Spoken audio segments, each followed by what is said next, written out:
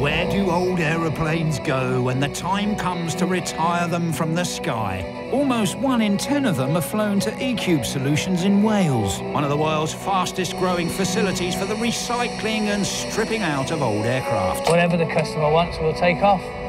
Every year, around 60 commercial airliners land at the company's designated airbase, and the lads just can't wait to get their hands on them. All these planes, and you just get to play with the biggest toy set in the world. This squadron of high-vis heroes love to get their hands dirty and fly in the face of whatever problems are thrown at them. Yeah, there's pressure. Um, we cope with it, we thrive on it. They join forces to take these old airliners to pieces so their thousands of mechanical components can be sold on to satisfy the growing global demand for refurbished plane parts. Let's get them off the aircraft. But it's a race against the clock to take these multi-million pound planes to pieces before they reach their final destination, the scrapyard. All these are ready to go now, so we're going to have the demolition boys are going to be coming in and they're going to start smashing them up. Join the lads as they battle hostile weather and get to grips with massive machinery.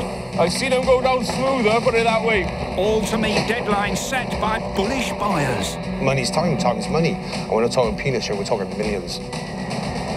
Welcome to the world of the plane reclaimers. So, good job, Ed.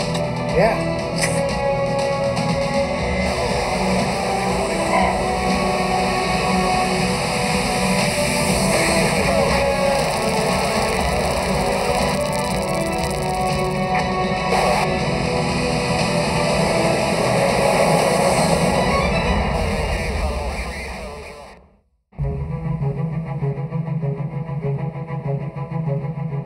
All quiet on the south coast of Wales this morning. Unusually so.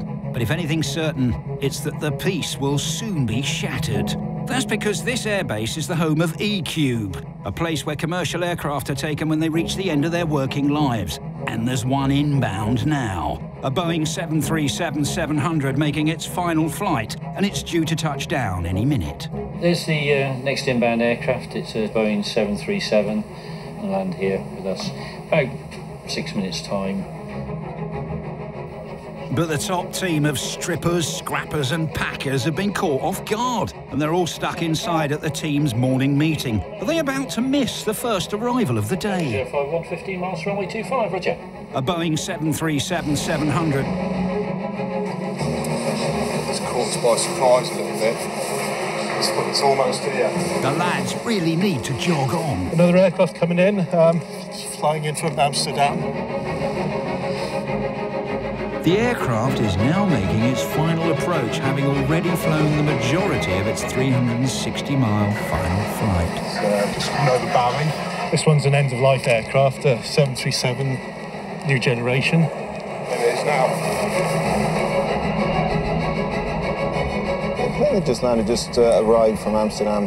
It's a 737-700, a modern, what's known as a Boeing 737 new generation aircraft, despite the fact new generations have just been succeeded actually by a new type again. But uh, that's a, um, a quite a sought-after type of aircraft, one of the most um, popular, if you like, to come for the disassembly process, which is going to go through.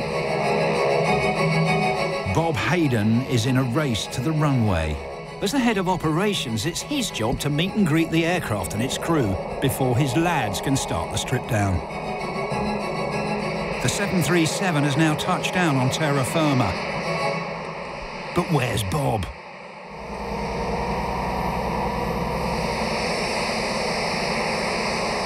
This smooth operator has managed to hitch a lift and has cruised down the runway. Okay, But has he timed his last minute dash to perfection? Almost. okay. We'll just have to move the steps back slightly. Need to go back a little bit, Sam. If you want something moved around here, then you need team leader Sam and his little green tug. The little green tug, what does it do? It does everything. It's, uh, it's a master of all trades, really. It, uh, we can move the aircraft with it from the uh, 737s, and I've moved the 767s with it, so it's, uh, it's got a lot of power. We use it for moving the uh, ground power units, steps, basically anything that's got a tow hitch on it can be moved with a tug. Uh, it's, it's what it is, its job, isn't it? This aircraft is one of dozens of commercial airliners that come to a crushing end at eCube every year. The man with the master plan is Mike Corn. We've coined a phrase, deproduction. We tended to, when uh, uh, the, my partners and I in the business came out of uh, new manufacturing end of aviation where everything was about production. obviously, the kind of processes we do here are the opposite, so we, uh, uh, we've played with the idea of deproduction. I'm not sure it's too snappy an expression on whether it will take off or not, but that particular aircraft is, is certainly destined for a disassembly process. The term deproduction might not take off, but the team on the ground just about understand what he means. Under the 737's vast wings, Sam must tackle the first and most valuable takeout of the day its engines. On average, a jet engine like this consists of around 40,000 parts and can reach temperatures in excess of 1,000 degrees Celsius in the hottest part of the engine, where compressed air is mixed with fuel and ignited. Along with his right-hand man Khalil, Sam has taken new boy Jack under his wing. Got good, good working relationship with the college, and we take um, we take a lot of the students in on work experience. So we get um, we get a few, quite a few coming on on a Friday, and they spend the day the day with us. They'll split them up between the teams. They'll go off with one of the techs and uh, just get involved with all different jobs every time they come. Any sure. issues you see, yeah, shout stop. Then everybody stops. It's tense work. You'll be bringing your top down. With the pressure piling up, it's time to see what young Jack is really made of. Quarter turn each time, not full quarter turn, yeah? Okay. okay? As an apprentice, Jack's never done anything like this before but his lack of experience won't cut him any slack with Sam. That's because any of his mistakes now could be particularly pricey. Turbofan engines like this one can be sold for up to $5 million a piece, so the new lad can't afford to mess this one up. Jack himself, it's difficult for him, like, you know, when he, he haven't got the experience and the hand skills and the that, but he's, he's learning. He, he, he, can only get better. Uh, sometimes it's a little bit frustrating because you've got to um, spend a bit of time with them, but I suppose at the end of the day, we all learned, don't we? We all have to be taught sometime. It's quite nervous, quite scary, because just one wrong thing and it could all end badly. the engine could just come down without you knowing and it could, it could cause some serious damage. One more quarter turn fronts only. It's quite scary, but it was really, really good, really, really, really good to get me going again is totally different and something that is just total shock to the system because you could come straight in on a Monday morning at seven and you could be, say, on the wings of one of the aircraft and then the next day you could be dropping the engine or you do something different every day. There's something always different in this job, which is uh, which gets me going all the time, keeps you wanting to go for it. Once again. Slowly but surely, Sam and the lads ease the multi-million dollar engine down into the purpose-built transport cradle that's waiting underneath. I think. Way off. Yeah. Right, so take the pin at the bottom. Oh, at the bottom, yeah. yeah. This has been a bit of a steep yeah. learning curve for young Jack, but he's impressed Sam. We've had uh, young Jack out with us. Uh, his apprentice is working with us for a few weeks. Lovely. Um, he listened to everything he was told. He did as he was told. And he had some good ideas where we had a few issues and that. So, uh, yeah, all in all, he's, um, he's shown that he's got the potential to uh, to be a good techie. So now we've just got to uh, get the rest of the um, removal kit off, the uh, bootstrap kit, removed from the aircraft, get it all locked away, engine in the hangar, and that should be about lunchtime. Going to have a brew and uh, something warm to eat. Job done. Okay, let's go.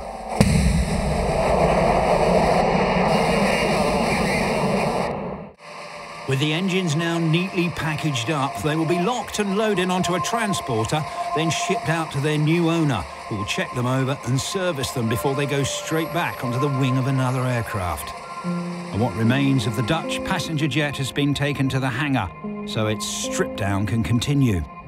These hangars were originally built in the Second World War and never meant to house anything as chunky or as modern as a 149-seater passenger jet.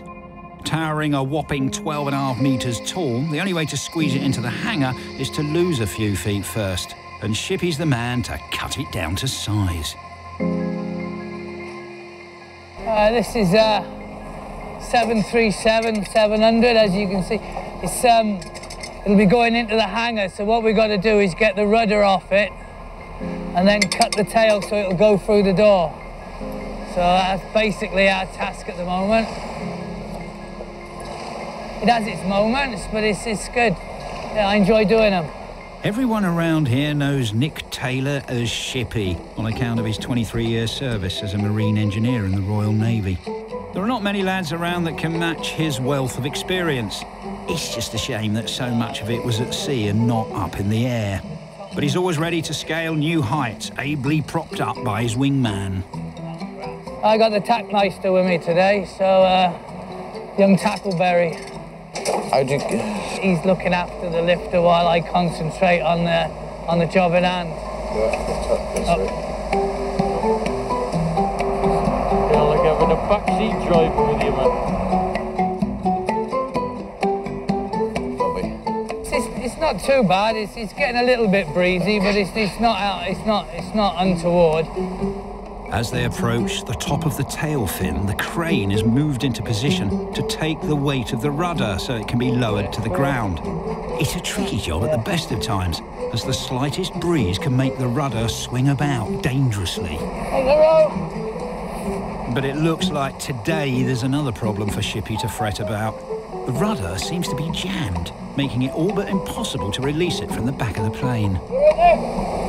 Don't swing It looks like one of the bolts is refusing to budge. There's always something new, little problems you've got to overcome, and it, uh, different aircraft types have different problems and different different tooling you've got to use, and and it keeps your mind active, you know. And it's uh, especially when getting a bit older, it's good to keep your mind active, like yeah. So. Shippy thinks he's got the answer, though. It's a special little something that only experience teaches you. A sophisticated move, which is a cross between a wiggle and a wobble. Can you give him a wibble, a bit, bit of a wibble? Unfortunately, this time, Shippy's wibble isn't quite doing the trick. Maybe what's needed is something a little bit more technical. Putting up a bit of a fight, that's all. Still gonna happen. Yeah.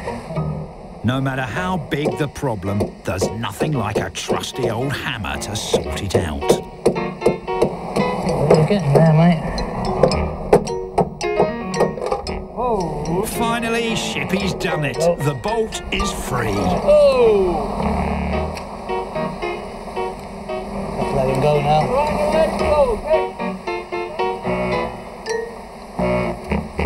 Bit of a bit of pressure on one of the actuator bolts, but um, we got we got him out. It's just with a bit of wind pushing him about a bit, so we managed to get him out, and it's uh, and it all went quite smoothly after that. But Shippy's not finished just yet. He's only done half the job. The plane is still too big to fit in the hangar with the rest of its tail still on. We'll be using a a recip saw and a uh, good wishes.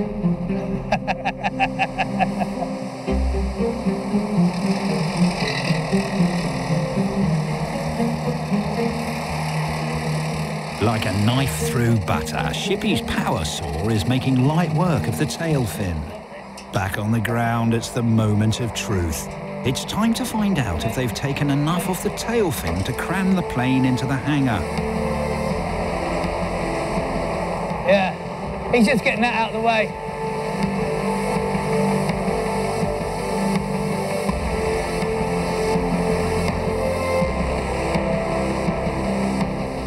Fuselage is eased in, it looks like the job's done.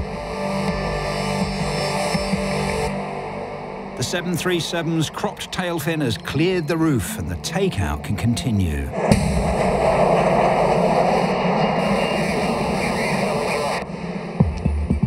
Well, this morning I'll be working on the flight deck up in the cockpit, removing all electronic instruments.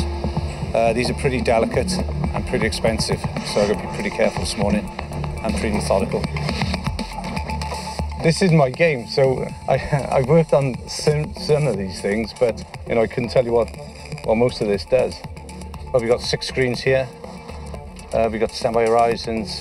There's a lot to do with navigational instruments. I've worked on the standby horizons, which is this this part here and a few other instruments, but uh, that's only I recognise it from this part of the deck. They're very expensive and uh, very delicate, some of them.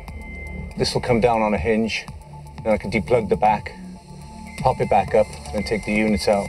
Hopefully, they'll come out their quick release, so it shouldn't take too long. But uh, this is the first time I've, I've done an aircraft the, like this. Technician Ian Ellis may have only worked at eCube for a couple of months now, but he's certainly getting to grips with this confusing looking cockpit. But what happens to all those switches, dials, levers and buttons once he's taken them out? What can you do with a used cockpit? Funny you should ask. From the outside, this terrace house in Yorkshire might look quite ordinary. But believe me, inside it's anything but. Welcome to the home of David Naylor. This is my house in Barnsley. This is the hallway. I've got two floors up, up there. So far, so ordinary. There's a toilet here. This is my kitchen. Got the utility uh, area there. Cooker, four gas hob there. And then down here is the Boeing 737 new generation simulator.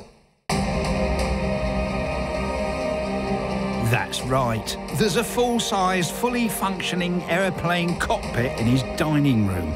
He used to work as a catering manager. Two years ago, David was laid off. He found himself with a bit of spare cash and a lot of time on his hands. I was bored one bank holiday Monday, know what to do. So I went to the local retail and got some wood and started uh, building the structure and went for it from there. And once David started building his cockpit, it pretty much took over his life. So far, I've spent about £16,000 on it. I've been doing it four or five days a week for 16 months, so a lot of hours has gone into it. I got divorced, so that's why I've managed to get it in dining room, kitchen. Obviously, if I was still married, I went to bed a prayer, but... Who needs a dining room table and chairs anyway, right? David was inspired by his childhood love of aircraft and flying, and he's a stickler for detail. In fact, his 737 cockpit is built from genuine components that have actually come from real aircraft, exactly the type of thing being shipped off the planes down in Wales. The most trying part is trying to find the parts. And there we have. Googling, looking on internet, it's, you know, non-stop looking. I've just learnt everything off YouTube, with the soldering, welding, electrics, you know, construction, everything self-taught. You'd do a, you know, a week's work, uh, whether it be soldering or, or wiring, and realise you'd done it wrong. So you, you go back and start again and you feel like smashing it up. David's patience and determination has paid off because his cockpit fulfills his dreams of being able to take to the skies. It may look a bit ropey on the outside, but thanks to the huge screens and live weather feed, David's homemade flight simulator feels just like the real thing. Pop my flaps up. I just come off the throttles a little bit now, so I can level off. And, you know, you, you actually feel as you're turning that you're turning and you're in the cockpit, and it's all so realistic. David doesn't just fly solo. It was only ever supposed to be a man toy for me. Turning now. When I did build it, and obviously we're on it 24/7 for about a month, uh, bedding it in. I thought, I'd, you know, I'll do my own website and see if anybody else want to enjoy it and hire it out.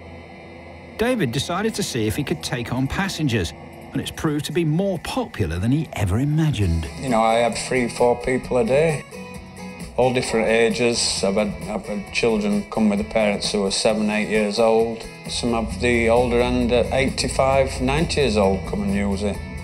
They ask the customer if they want to do, you know, a couple of takeoffs and landings, some short flights, or they might just want to, you know, fly to Spain. Today, David is taking just a short domestic flight from Manchester to Leeds Airport, but many of his passengers prefer flying long haul.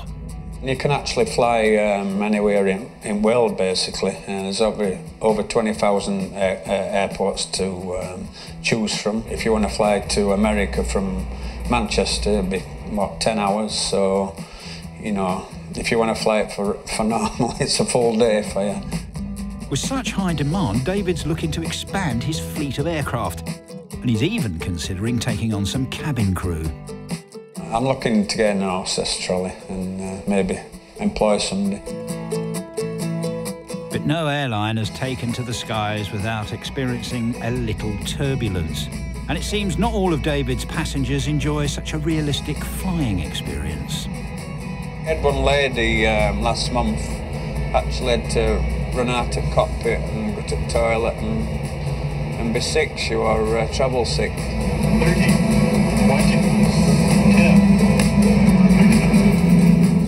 Reverse thrust. Feet on the brakes. Welcome to Leeds. Decent landing. For David, his friends and family may have been a bit sceptical at first, but now he's hoping the sky's the limit. Initially, the photo were a bit mad, building a, a cockpit in your dining room, kitchen. But now it's fully up and running, turned into a full-time job for me. I think them comments have, have way gone. Now it's turned into a full-time career. It's taken off, basically. Nice wordplay, David. I see what you did there.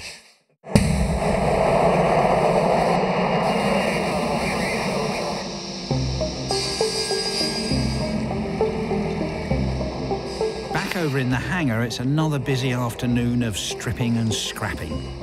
The 737 from the Netherlands is being carefully dismantled, piece by painstaking piece.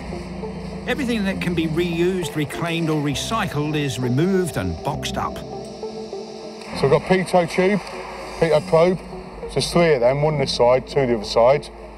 Got angle of attack, and uh, down the bottom here we've got a TAT sensor. They may not look much, but these are all pressure-sensitive bits of avionics found in almost all aircraft to aid the pilot's cockpit instrumentation. For an airline, they'll make valuable spares to be kept on the shelves in case they need to be called into action to replace a damaged or defective part. The first sensor on Sam's shopping list is the alpha vane, which measures the aircraft's angle of attack. This one will tell you what the attitude of the aircraft is to the wind flow. Yeah, so, so the wind's blowing that way and the aircraft's that way. That'll be at a funny angle like that. And they'll give me the thing in there. It's set in, and then you've got sealant around the edge of it. So he's got to break the sealant. It's just to weatherproof it and uh, make it airtight as well. If it's not sealed, when they pressurise the aircraft, it'll um, end up loads of leaks and the likes. That's it. I mean, God knows how many years worth of dust on it. Next for removal is the pitot probe, which is used to determine the airspeed of an aircraft. But Sam's having trouble with undoing the screws as they've been covered over by layers and layers of paint. The problem when you start taking screws out, because the aircraft's been painted, the, uh, the slots for the heads get full of paint over the years. Not every plane stays with the same operator all its life. You know, some of the aircraft we've had in here have gone through two or three different operators. And then, of course, when they change countries, they um, they change registration and everything. The other thing when they're painting aircraft, they've got to weigh it all because they affect the weight of the aircraft. And you know, when you think five litre tin of paint you use at home, and it's that way, you know, it's a fair bit in there. Finally, for Sam, he's removing the TAT sensor, which gives the pilots a very accurate measurement of outside air temperature. A lot of the time, there's not enough flex on this to bring it out to undo it. It ends up stuck in here. So you normally have to find find a young un who's skinny who can get down there and un undo the pipes for us. But, uh, I'm quite lucky on this one. Apart from the wrong size spanners again. There we go. Nice work, Sam. All in all, it's a pretty tidy haul, estimated to be worth a few thousand dollars. There are jobs to do all over the aircraft, and under it as well. Today's job is taking off the slats. Oh, your arms do get a bit tired after a while. But, uh, that's when you got to be aircraft fit. That's the split pin I was after, and that's out. So I'm just trying to get the slat track lined up to remove the stop. And I'm going to use this bit of rope to support the slat while I take the stops out. Ed Lucas is about six foot seven, which could be why everyone calls him Tall Ed. For Ed, it's a race against the clock to help strip out each plane that comes through here. But even for him, taking out something this big can take time. This will be for the next two days, I can imagine. So it's uh, there's eight slats altogether, four on each wing. It's a bit of a fiddly old job. So the slats are designed to work in conjunction with the flaps at the back of the wing to increase the chord of the wing, which is the depth of the wing. And by increasing that depth of the wing, you increase the lift. So on takeoff and landing, they're very important to give that aircraft the extra bit of boost it needs to get off the ground. To add to Ed's weighty workload, there's a spot of spring cleaning to do. That's because the space in the wing where the slats are housed can often pick up unusual souvenirs from the plane's globe-hopping travels. Well, you occasionally find the odd cockroach. Some days you get snowballs, some days you get sand. I had one from uh, from the Arabian deserts the other day, and there was the finest dust I've ever come across, all inside the uh, tail. It's uh, the kind of dust that blows across to the Amazon and fertilises the forest. What a beautiful bit of imagery. But as poetic as Ed can make the dust sound, the real value here is with the slat itself, and it still needs to come off. And even this gentle giant can't manage that by himself. Oh, you'd never do it on your own. It's definitely a two-man lift. Maybe even a three-man, because one needs to pull the podgers. Pull the what was that, Ed? A podger can be anything from a screwdriver to an ice pick. Basically, it's a bit of metal that we use for knocking a, either knocking a bolt out or to line a bolt hole up before we put the bolt in. What we tend to use, we'll, we'll knock bolts out and we'll leave a podger in the hole. So uh, if it's a hinged or like a slat or something on the front, we go all the bolts out and just leave them sitting on podgers. So when we're ready to lift it off, we just pull the podger out. Uh, yeah, a general pointy bit of metal. Ed will have to come back to his podgers later. Right now, this plane needs a nose job. Sam's in charge of this operation. Before they can take the nose off, they have to strip out a very clever bit of kit tucked inside. Today's first job, or one of the jobs, is to remove the weather radar.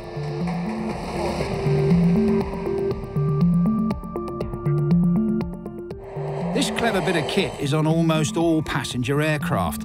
It's a crucial part of the plane. So, what exactly is a weather radar then? It's just like an antenna dish that you see. It's everybody's idea of a, a radar dish, eh, that moves backwards and up and down. Don't ask me any more about what it does because uh, I honestly don't know. What Sam does know is that this bit on the front of the aircraft is purpose built to protect the radar. So it's not just a nose, it's actually something called a radome.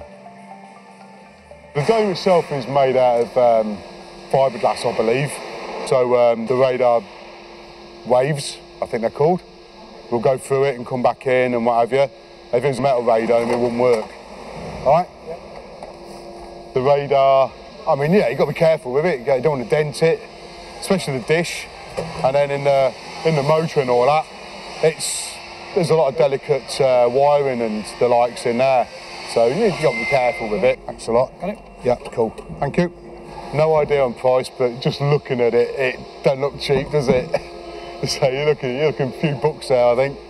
Each and every one of the thousands of valuable components being carefully removed from the aircraft is tagged and photographed and catalogued to show their new owner the condition each item is in.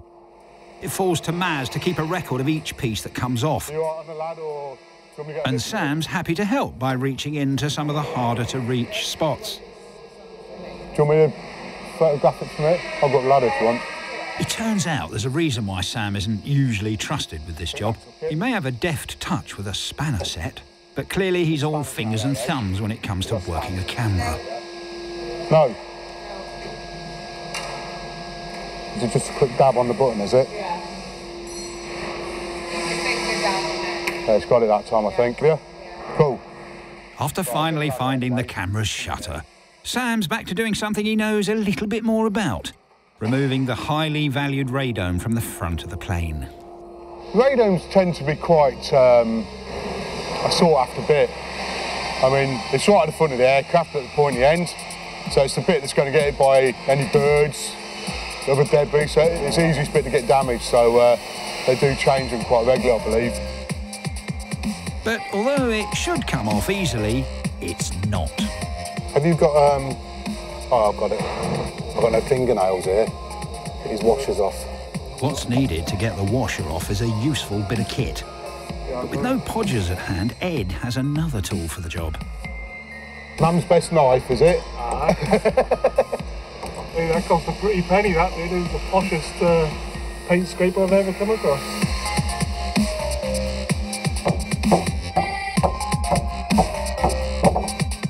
The radome itself is reasonably robust. It's a two-man lift to get it down off the aircraft.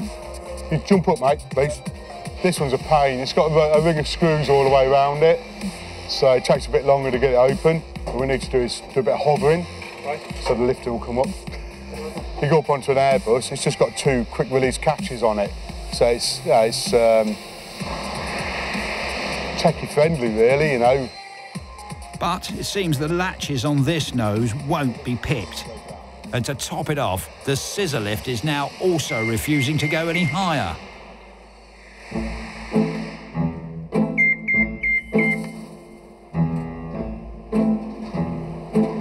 Oh, what a nose.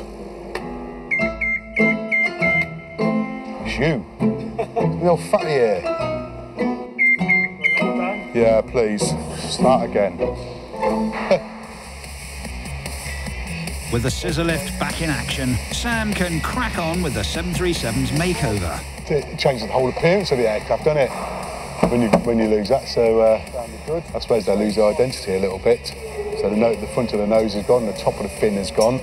So uh, you know, it's changing, what it was. You know, there we go, got it. Some of the aircrew that come in the hangar, some of the pilots and that more, they're like, you see their jaws drop a little bit because they, they, they don't normally see this end of it. They're used to seeing a nice shiny aeroplane with all the bits on it that they can go and fly around the world. This nose has been bought by an airline to keep as a spare part. Price tag around $30,000. But the all-important wings are still a work in progress. Tall Ed has found two pocket-sized volunteers to help him remove the slats from the wing. Towering head and shoulders over everyone else, Ed can reach the heights others can only dream of. While it looks as if his pint-sized pals might have to totter on their tiptoes, Ed will need to watch that he doesn't crack his cranium. But now the cherry picker's decided to have another sulk, and it's refusing to go any higher. It seems that three is a crowd, and Ed's got himself one glamorous assistant too many. These two, if you stay up there, yeah. Will you come down here? Now that Ed's lightened his load, he can get on with the job at hand, and that's playing with his podger. I think what's best is if you pull that podger, Yeah. I'll pull this podger, and then we just We'll drop it. okay. Whatever it is, all that podger pulling seems to have worked a treat. So that was a successful lift then. I was happy with that. My plan uh, come to fruition. The slats are a vital section of the wing to increase an aircraft's lift, and they've been bought by an airline to be used when needed as a spare part. But Ed's job's not done just yet. Well, this is uh, number eight slat. So now it's seven, six, five, four, three, two, one. That should keep him busy for a while.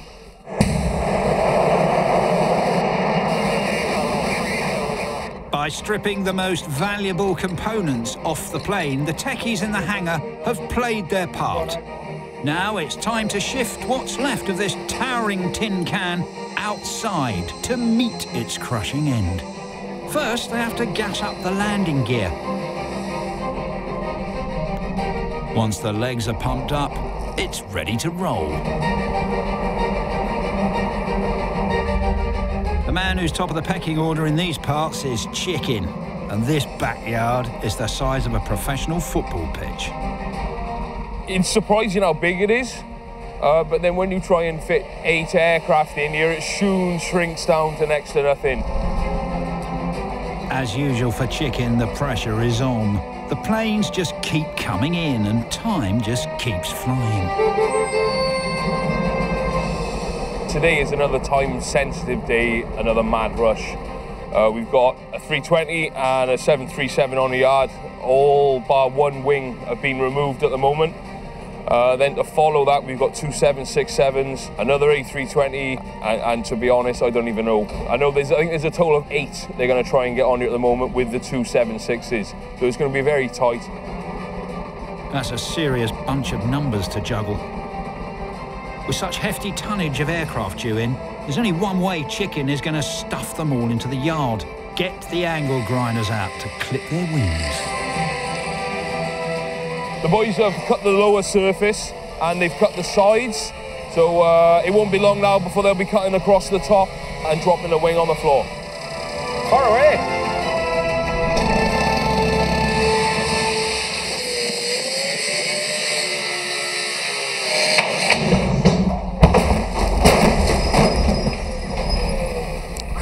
Right then, let's go for lunch.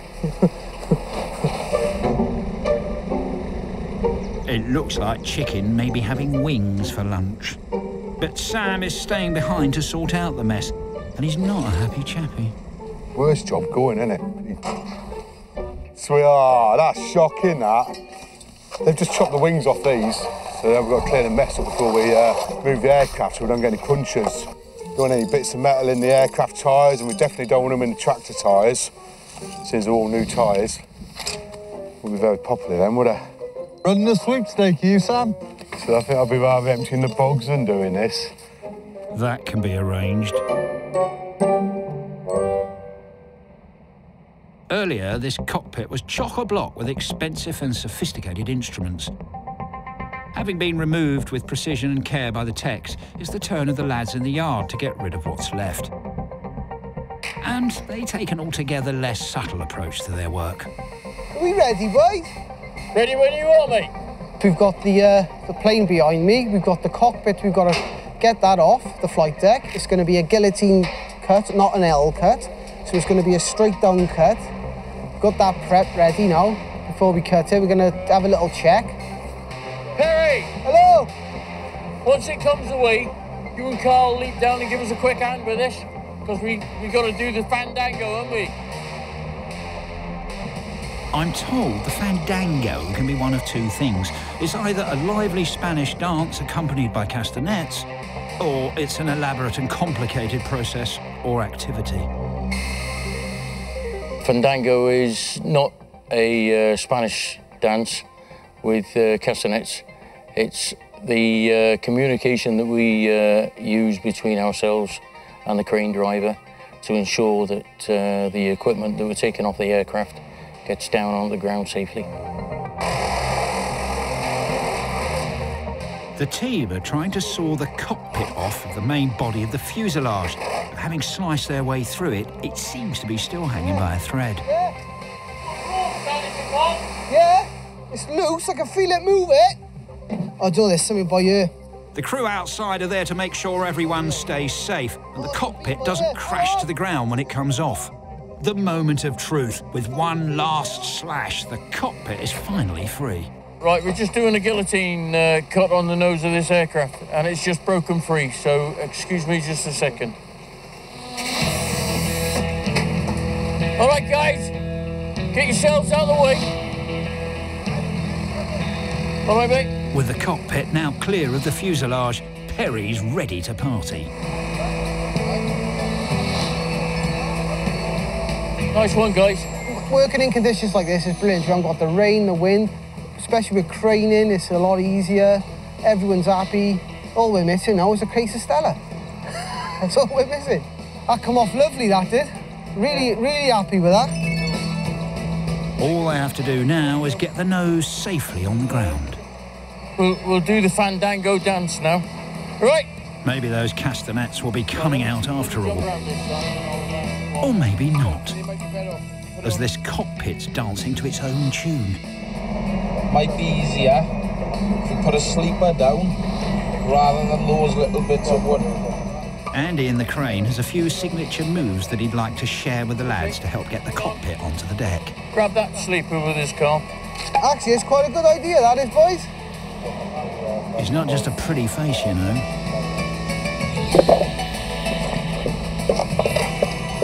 Bring him down a little bit, Andy. Hang on. Right. It seems there's a bit more fancy footwork needed before this fandango is finally through. No, this end's flipping now.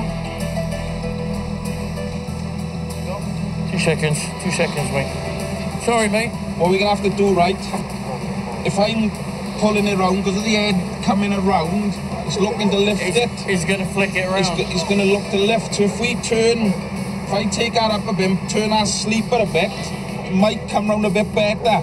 Because I'm pulling it. With Andy taking the lead, it now looks like everyone can dance to the same tune. Furthest end, further up.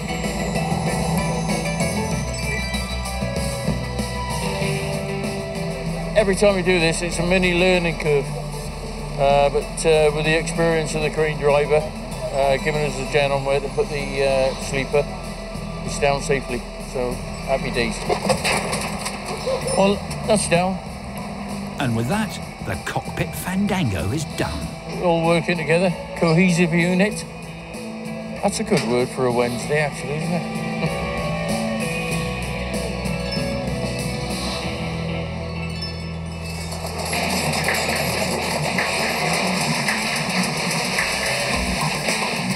With the cockpit all removed, this is all that's left of what used to be a shiny new generation Boeing 737-700. This is the end of the road for the aircraft. Uh, everything that's uh, expensive uh, has been removed, and uh, what's left is just scrap now. This is truly the end of the road where the remains of the planes get completely obliterated. There's no time to lose. It's almost a production line at the moment. The way they're tearing them down pretty fast. They come onto the yard.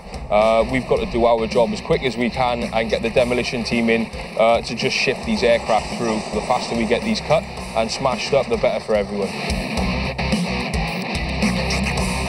With no time to waste, the powerful jaws of these two massive crushers work together for maximum effect. Like two giant dinosaurs devouring its prey, these monster-sized wrecking machines tear the carcass of the 737 to pieces.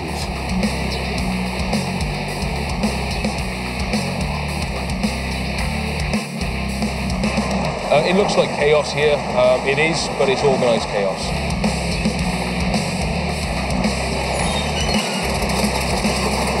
The demolition team smash it up into the uh, smallest they physically can, really, to get as much weight on the, uh, the trucks as possible, uh, and they ship it up country then to the recycling centre.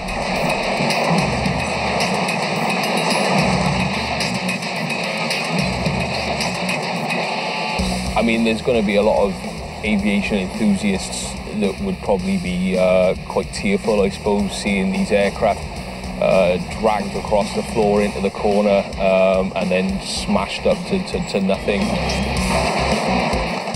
To me, it's the complete opposite.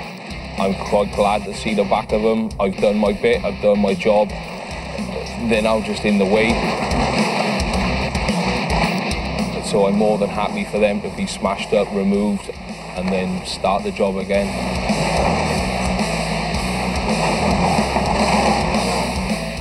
Start to finish, it's taken this wrecking crew less than two hours to turn what was a miracle of modern engineering into a sorry-looking stack of scrap metal. From here, scrap metal companies will take these remnants away and turn them into other manufacturing goods. And who knows, some of the high tensile aluminium may even end up being used in the fuselage of a new aircraft. So somebody may well be flying in it again.